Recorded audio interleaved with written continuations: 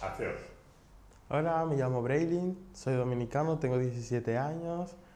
Eh, he venido aquí en el 2016 interesado por, por cocina, desde siempre me ha gustado la cocina, bueno, desde pequeño.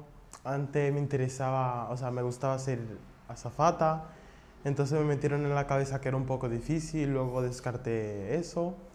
Y a, a partir de los 10, 11 años me empezó a gustar la cocina, siempre veía a mi familia cocinando, estaba siempre atento.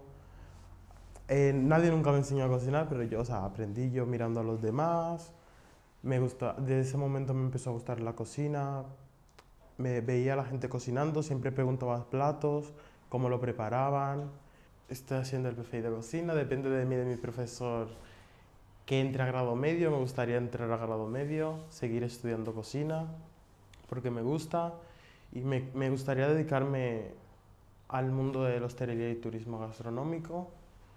Y me, principalmente, al ser dominicano, lo que me gusta más cocinar son comida de mi país, ya que tengo mucha experiencia. Y me gusta más o menos como el moro, el locrio. O sea, el moro es una mezcla entre arroz y judías. Y el locrio es una mezcla de, de carne, de la que le quieras echar dentro.